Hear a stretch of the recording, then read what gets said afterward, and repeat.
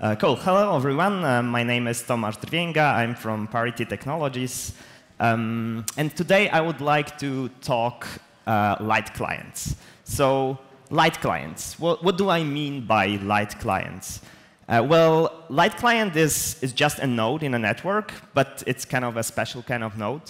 Uh, so, what I mean by light is light as in it has low resources usage, usage so all like CPU, memory, storage, and I/O.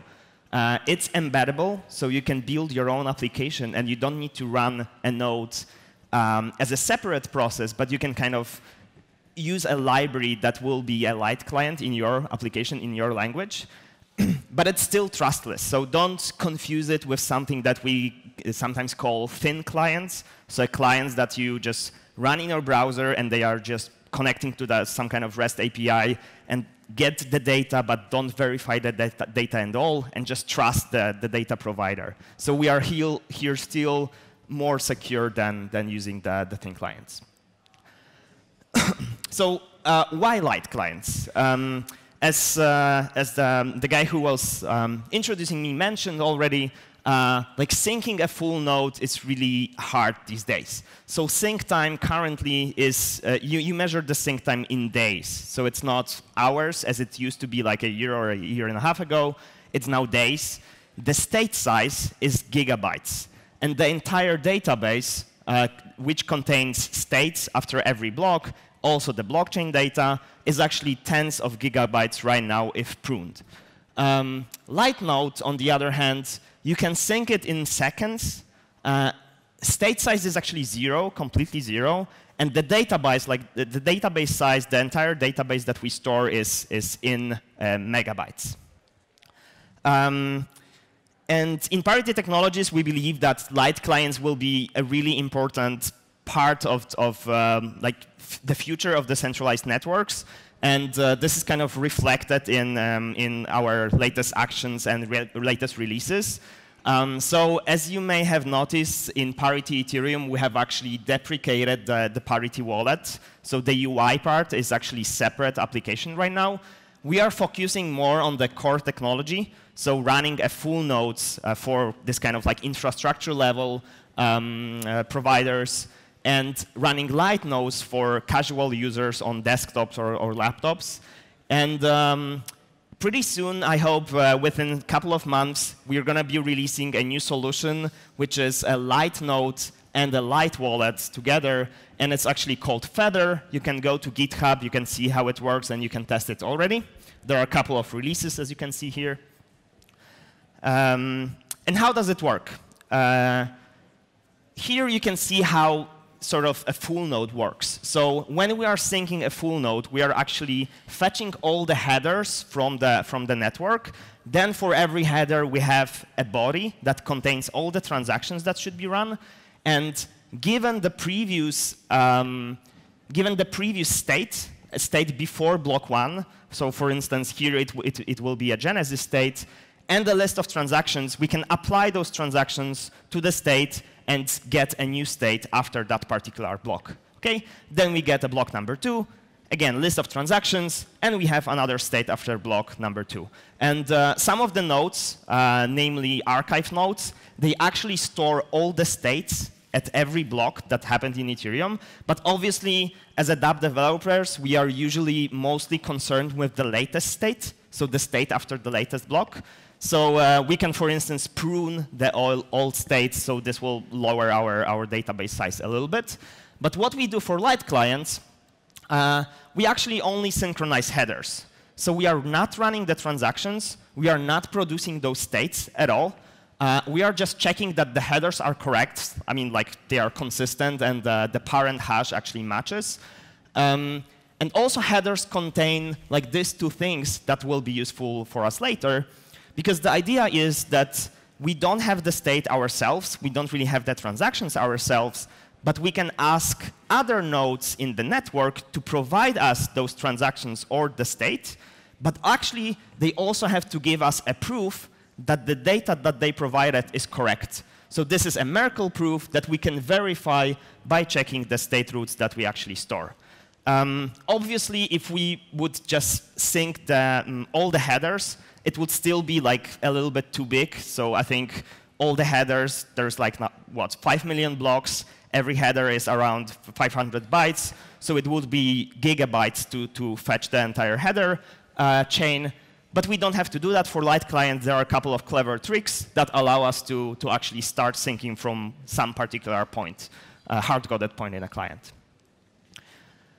Um, yeah, and then how, how is it different to actually build a dApp for a light client in a backend? So uh, we know that there are, that there, there, are no pending blocks. This is, this is like one of the main differences because we are not really running the transactions at all. We actually don't even propagate the transactions because we don't have the state to verify if those, tra those transactions are valid or not. Uh, yeah, we don't have the state at all, actually, right? We don't, we don't have it. Um, we don't have block bodies, uh, and we don't have receipts, so we cannot easily like get, um, we cannot get the transaction data fast or the results of the transactions fast. And, and there is this network latency involved. So even if you are running Light client on your local host, uh, you are doing an RPC query to the Light client, but it has to ask uh, peers in a network to get the results, and it increases latency, obviously. And also, some calls are more expensive, because then the question arises, if my node is actually like um, fetching everything from the network, so it's leeching on the network, um, how do we control, like how do we rate limit those nodes? How do we control that uh, we are not attacking the, the, the, full nodes that are providing us data. So currently in Parity Light protocol, we have a thing that is called credits. And this is a thing that limits how much um, like computing power of the other node you can actually use. So, and it obviously um, is related to the kinds of queries that you are doing on this, on this remote node. So, so you need to be aware that some of the queries might actually be more expensive than the others. Um, yeah, and then let's see how we can write it up. So as a, as a like beginning dApp developer, what you might do if you want to write a dApp that actually displays a latest balance of, of someone's uh, token, uh, ERC20 token, you will probably use Web3 for that. And then in this first line, we are creating a contract at some particular address. We are providing an um, ERC20 ABI for that. And then what we are doing, we are setting up an interval. Every 500 milliseconds, we will send a request to the node that will actually query the balance of that particular contract for some address provided here. Okay? So what's the problem with this approach? It will probably work if you are running a full node, like we are asking every 500 milliseconds. But even, even on full node, um, it, may, it may behave like a little bit unpredictably. Because what if the method actually takes more to execute on the node than this 500 milliseconds? So what happens is we are actually queuing up a lot of requests on the node, and the node is not able to handle them fast enough for you. So sometimes you can even get not the latest balance, but like some you know, straight old call uh, that will be resolved finally. And uh, if, if we are not able to handle that fast enough, then this will probably break and will crash your node because there will be too many queued connections. Um, so you might go like a little bit smarter. Um, instead of asking in the interval, you can actually wait for the previous call to finish. So this update balance thing is actually doing the same thing as, as previously. But here we have a little bit of logic that says, yeah, we want to update the balance, and only after it finishes, we want to trigger another balance update, but we are trying to target like me average uh, block time size because uh, sorry block time because we know that the balance can only change when the new block is coming to the network, right?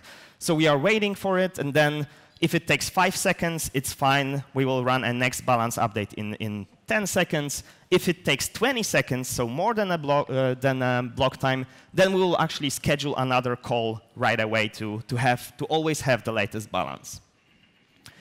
Um, luckily, with uh, recent additions to, to Node's RPCs, we can actually subscribe uh, if we are using uh, WebSockets transport, obviously, or IPC transport, we can subscribe to the node and be notified about new blocks uh, that are imported by the node.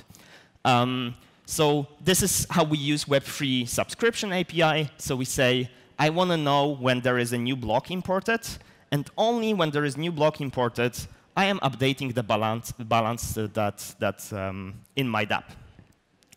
Um, yeah, so, so all of this is kind of like patterns that we have to use to write, uh, to write our dApps. This is kind of like Ethereum development tribal knowledge that everyone has to know.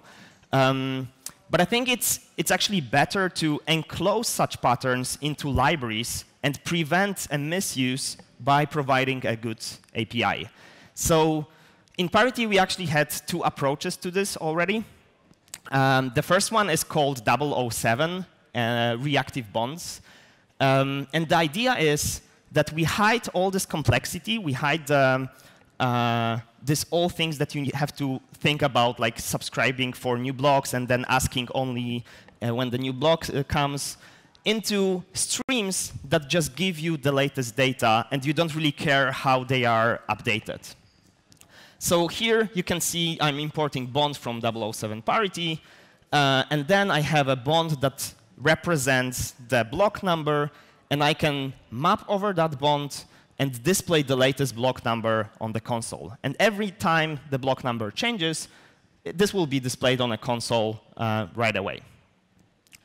Um, yeah, the second thing that we you could do was to take one bond and actually compose that bond with some other bond. So for instance, here we have this sort of an object of all possible blocks in a network. And we say, for every block number, so every time the block number changes, I want to fetch the latest block. Then from this latest block, I want to fetch extra data. I want to convert the hex to, to ASCII and display that on console, right?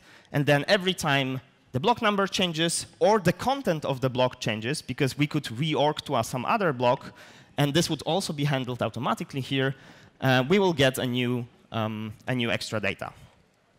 Uh, but the problem, so oo7 was based on computational graph, so in principle, you could do many uh, of those transitions in parallel. Like the, these parts of the computational graph could be computed in par parallel, but unfortunately, JavaScript is single-threaded.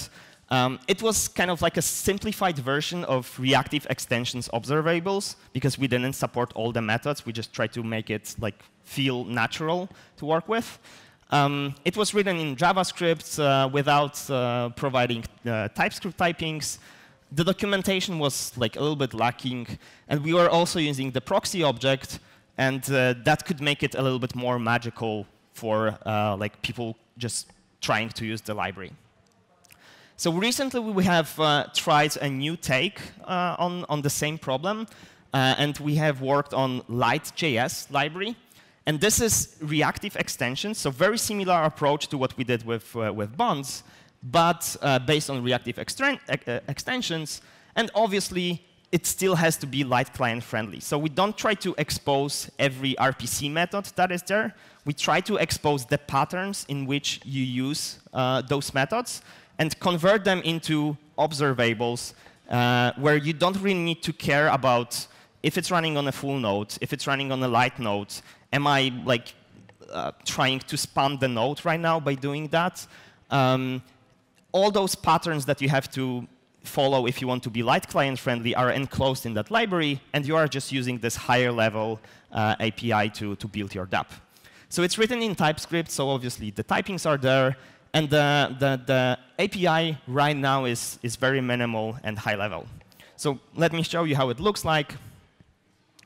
Um, you are importing a block number uh, stream from Parity Light.js and you are uh, importing the RxJS operator to, to uh, modify the stream somehow.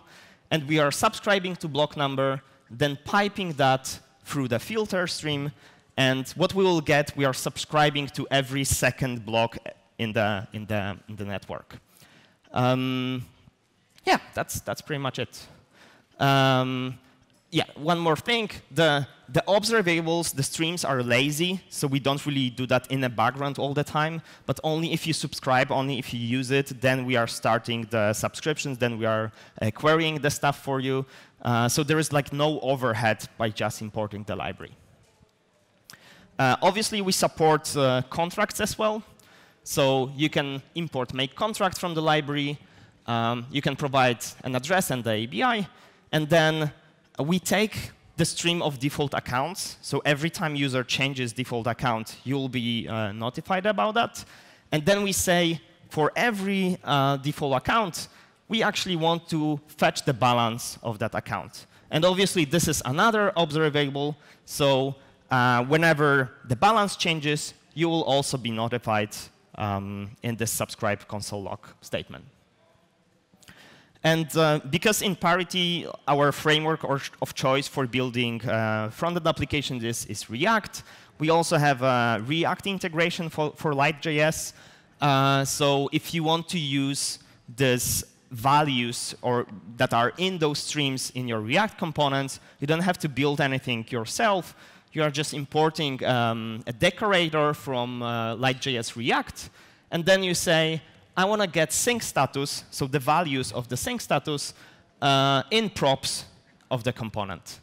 And the, the, the higher order component is actually uh, subscribing and providing you the, the, not, uh, the, the, latest value to the component. Uh, so yeah, uh, Light.js is quite minimal currently. It was built to uh, actually build Feather, so this light wallet that I mentioned earlier. And we are still working on the API Contributions are uh, obviously welcome. You can find us on, on GitHub. Um, and the future, what's, what's coming next? Obviously, we want to extend Light.js to contain more APIs, to enclose more patterns. So uh, um, we are really open for contributions. Um, we might be working on UI component libraries, so not only this, you know, uh, lower level stuff, but higher level components like buttons that you can, um, can, uh, can use in your application. And uh, a lot of work in the core part of, um, of Parity, uh, Parity Ethereum client is to make Parity Ethereum, Parity Ethereum uh, run as a library so that you can compile Parity Ethereum and use it in your Android app, for instance. Obviously, I mean light client uh, of Parity Ethereum. And a second stream is working to compile a Parity Ethereum to WebAssembly so that you will be able to run a light node in your browser. For instance, either as a Chrome extension uh, or like in, on the website itself. So you are just visiting a website. It actually contains Parity Ethereum WASM light client it's syncing the network right, right, away, and you don't have to go to Infura, you don't have to connect to like localhost 8545. Uh, you are just running the light node inside your browser. And that would be about it. So thank you.